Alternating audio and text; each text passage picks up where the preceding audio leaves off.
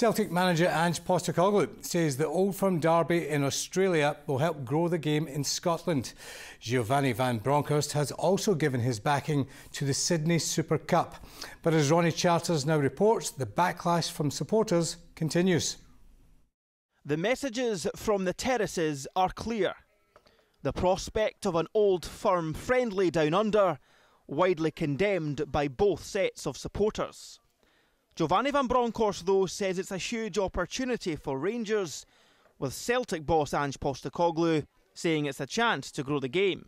We are an all-inclusive church, mate, you know, and, and should we should welcome from far and wide, which we do, and I think taking the team to that side of the world, I think, is positive for us, but also, like I said, Scottish football, because you know people know what I'm like. I'm not going to go there and treat it as a friendly. We're going to go there and play a couple of games, and I want them to see us playing fantastic football and everyone talking about our football club. Before last night's match, both Celtic and St Mirren came together to send a strong message over Russia's invasion of Ukraine. After a goalless first half, Celtic struck twice after the break through Cameron Carter Vickers and Callum McGregor. For St Mirren, they dropped to ninth, but just four points of Livingston in fourth.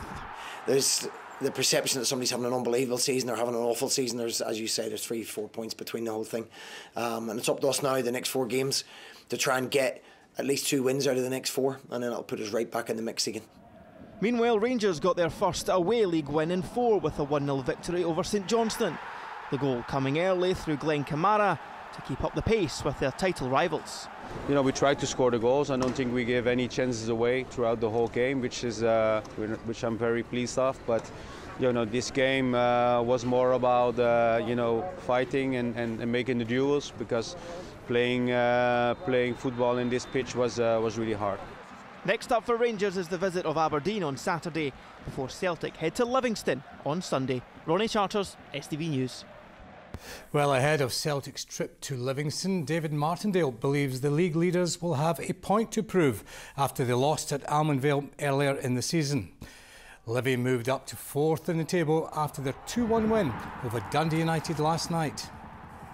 But I think there's probably a wee bit of needle in there tying the respect that the Celtic players are coming here trying to rectify the last result and I do believe they're top class international footballers and they'll have a point to prove.